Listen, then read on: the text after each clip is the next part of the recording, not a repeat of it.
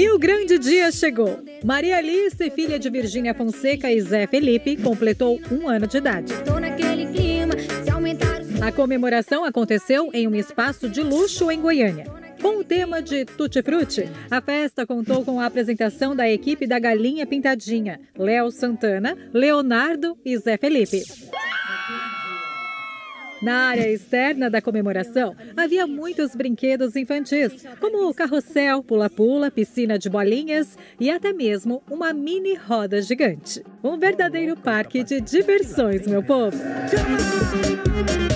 Em meio aos inúmeros presentes, um especial chamou a atenção. Maria Alice, com apenas um ano de idade, ganhou o seu primeiro carro. Os influencers Lucas Guedes e Rafael Uckman deram de presente para a garotinha um mini Jaguar elétrico branco. Chique, né, meu povo? Para completar, Virgínia, que está grávida de quatro meses, aproveitou o evento para revelar o nome e o sexo do segundo bebê que espera com Zé Felipe. Se trata de uma menina que se chamará Maria Flor. Os nossos parabéns para a pequena Maria Alice e que a Maria Flor seja muito amada também.